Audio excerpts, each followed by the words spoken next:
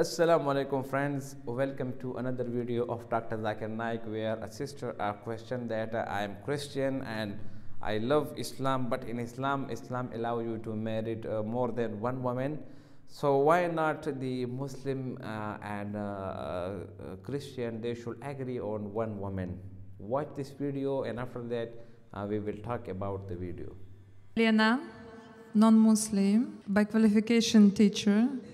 Thank you very much for very interesting lecture. I have one question. I find it immoral and vulgar for a Muslim to have more than one wife. What do you think about this?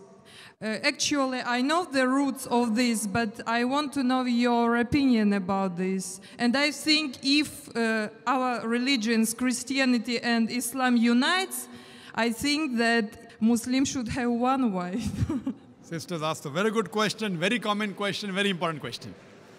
She asked that she thinks, according to her, it is immoral for a Muslim to have more than one wife. And she's requesting me that if Christians and Muslims unite on this point, it will be very good. That's what I want to do. But we unite on what is the truth, not what is falsehood. Quran, sister, is the only religious scripture on the face of the earth which says marry only one. There's no scripture on the face of the earth. You read the Bible, you read the Ramayana, you read the Mahabharata, you read the Veda. No scripture except the Quran says marry only one. If you read the Hindu scriptures, if you read the Hindu scriptures, Ramayan, the father of Sri Ram, King Dashrath, he had more than one wife. If you read Mahabharata, Sri Krishna, how many wives he had? Four, ten, thousand. He had 16,108 wives. If you read the Bible, if you read the Bible, Solomon had 700 wives. According to the Bible, Abraham had three wives. So according to the Bible, according to Judaism and Christianity, a man can have as many wives as he pleases. Four, five, ten, thousand, no upper limit. Islam has put an upper limit. Quran says in Surah Nisa, chapter number 4, verse number 3, marry women of your choice in twos, threes, or fours. But if you can't do justice, marry only one. So according to Hinduism, according to Christianity, you can marry as many wives as you wish. One, five, ten, twenty, thousand, ten thousand, no upper limit. Islam says, marry women of a choice in twos, threes, or fours, but if you can't do justice, marry only one. So Islam says you can marry more than one only if you can do justice, otherwise you can't. And even if you can do justice, maximum four. Now let's analyze what Quran says. Quran says in Surah Nisa chapter 4 verse 129, it is difficult to be just between your wives, therefore do not turn away from them altogether.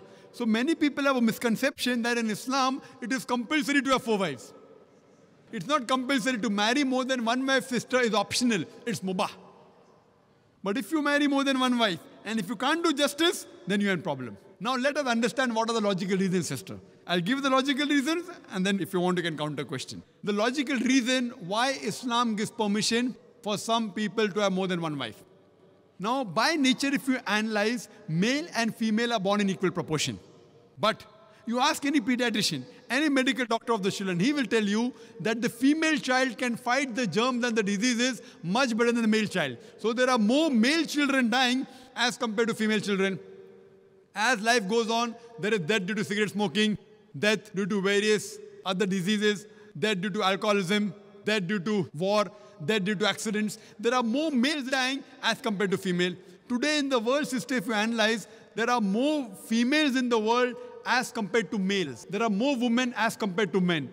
Except in a few third world countries like India, where I come from, the female population is less than the male population. It is because of female feticide and female infanticide. If you stop this evil practice of female feticide and female infanticide, even in India, the population of the females will outnumber the male population. Today, according to statistics, in New York alone, there are more than 1 million females more than males. In USA alone, there are 7.8 million female more than males. In Germany alone, there are 5 million female more than males. In UK alone, there are 4 million female more than males. In Russia alone, there are 9 million female more than males. And God alone knows how many millions of females are more than males throughout the world. Suppose I agree with you hypothetically that one man should marry only one woman. And if my sister happens to live in America, and if the market is saturated, or if your sister happens to live in America, and if the market is saturated, every man has found a woman for himself. Yet there will be 7.8 million females who will not find life partners. The only option remaining for these 7.8 million females is that they either marry a man who already has a wife or become public property. People will say, public property, Zakir, such a harsh word. It is the most sophisticated word I can use. I can't use a better word than that. You either marry a man who already has a wife or become public property. There's no third option. So now if we analyze in USA, according to American statistics, a common American on average has eight different sexual partners before he settles down with one. That means some may have two, some may have 10, some may have 20. Eight different sexual partners before he settles down with one. And you can have as many mistresses as you want. One, 10, 20, no problem. But legal wife more than one, it doesn't go down the throat. And you ask any modest woman, if a woman becomes the second legal wife of a man, she gets respect, she gets honor, she gets the rights. If you become a mistress, there's no honor, there are no rights, she's degraded. So Islam has the solution to the problems of humankind. Today, there are more women in the world than the men. According to me, Islam has permitted some men to have more than one wife so that the woman can live modestly. Otherwise, it's not possible. I do agree with you, sister. I do agree with you, sister, that a woman would not like to share a husband. I agree with you. That a woman would not like to share a husband, but no woman under normal circumstances would like a husband to marry one more woman. But the Islamic Sharia says, let a small loss take place to prevent a big loss. A good Muslimah, a good Muslim woman who knows the world scenario, she would not mind taking a small loss that is sharing a husband to prevent a big loss that is making a sister becoming a public property. Yes, sister.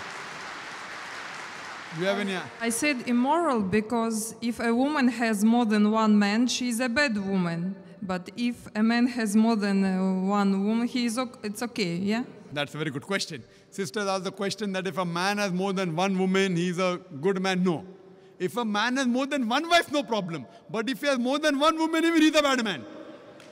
Like in America, one man has got four mistresses, five mistresses, ten mistresses. Even in India, he's a bad man. But if he has a legal wife, if he does nikah, if he marries her, gives her due rights, gives her mahr, equal time, equal justice, then he's a good man.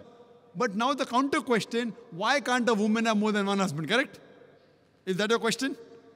Uh, Is your question that why can't a woman have more than I one was husband? thinking that in case if female population increases and male population decreases, so female can have two or three husbands. That's a very good question. You have the hypothetical question. But Almighty God, who's our creator, He knows better than you and me. He's our creator. And the reason, because God has made the woman a stronger sex. She is medically more stronger than the man. You know that? I'm a medical doctor, sister. Medically, a woman can live for longer years than a man. We think the man is strong. Physically, man is strong. But medically, the woman is stronger. She lives longer. Her longevity, the average span of a woman is few years more than a man. There are less deaths in the pediatric age group. And regarding your main question, that Islam allows polygyny, a man to have more than one wife, but does not allow polyandry, that is a woman to have more than one husband. Why? The reason is that if a man has more than one wife, and if a child is born, you can easily identify who is the father and who is the mother. But if a woman has more than one husband, and if the child is born, you can identify the mother, but you can't identify the father.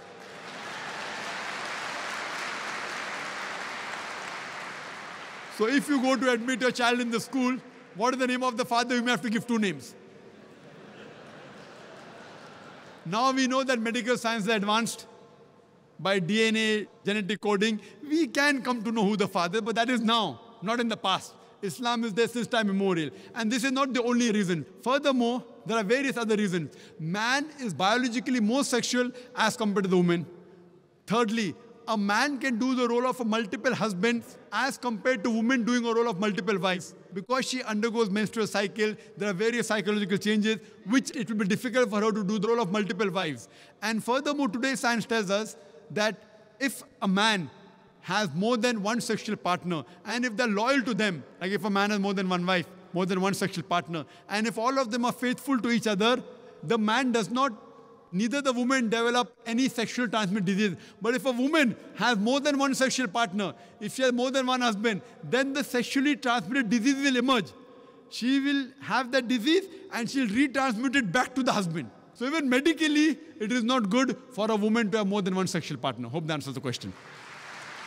Welcome back friends. I hope you enjoy the video till the last minute. The sister asked question that uh, in Christian uh, it's allowed that you should only marry one woman and Islam allow you that you should marry more than one woman at one time you should marry with two, three and four wife.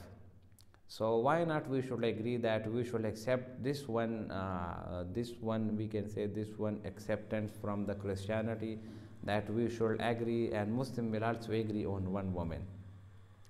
So my dear brother and sister, the actual question is that, but my answer, but before going to answer, I want to tell you one thing, that there is only one book uh, of Almighty Allah which is revealed and that is called the Holy Quran.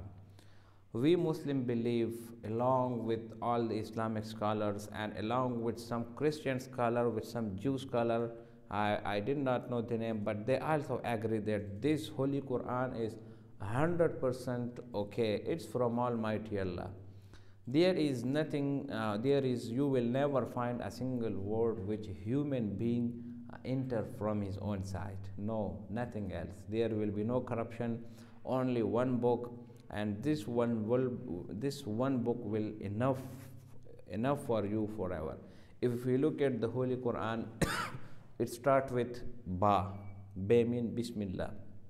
And it end with the min al jinnati nas. At the end there is sin so at the start be and at the end sin be sin bas. Bas mean that it's okay. That's enough. So this holy quran is enough for you from start of your life till the end of your life. What the holy quran said that uh, uh,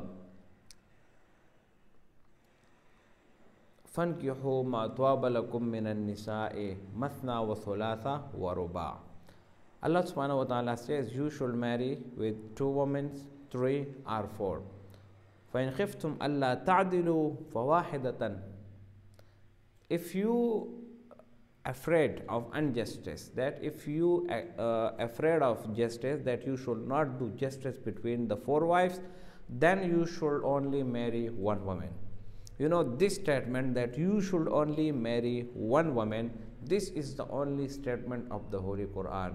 You will never find this kind of statement in the bible in the vedas in the rigveda or in any other religion of the christianity or the judaism or the buddhism. If you read the Mahabharat, the Ramayana, I don't know the name, but there is a special book of Hindu. It says that uh, they have more than 100 wives more than 100 wives. In Christianity, they have more than 700 wives. And if you look at the Judaism, so they have also offered, you know, so many wives.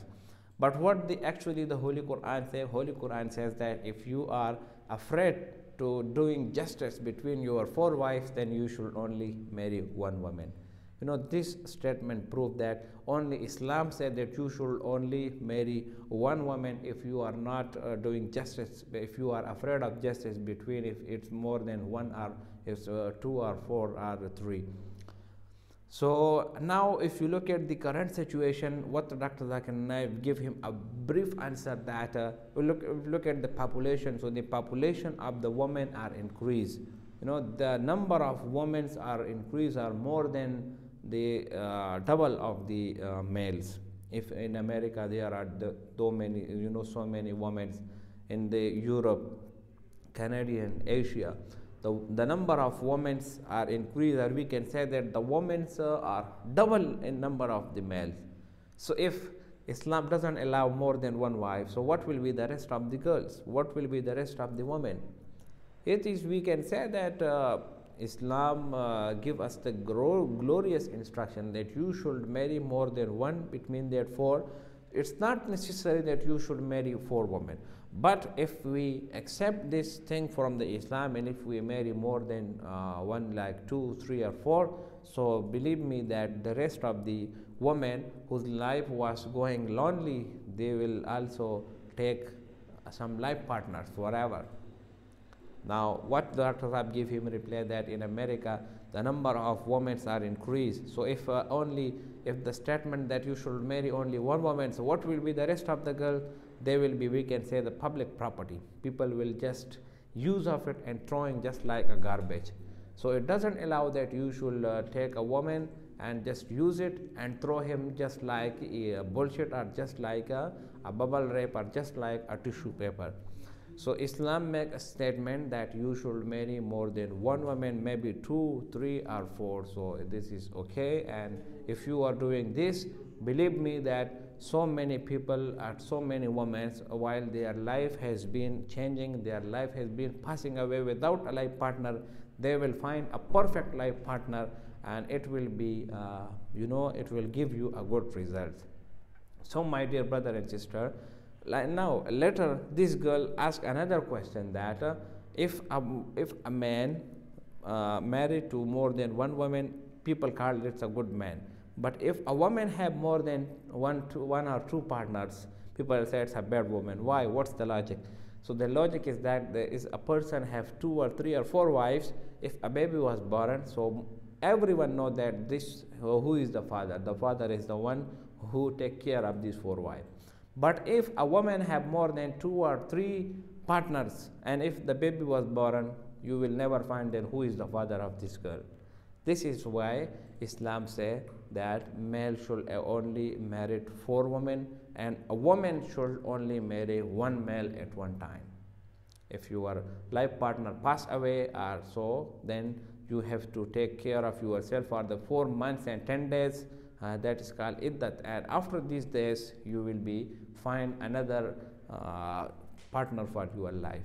So whatever islam says in the holy quran these are the golden rules and the golden words and you have to take benefit from it. I hope you enjoy the video. If you like the video subscribe the channel and share it with your friends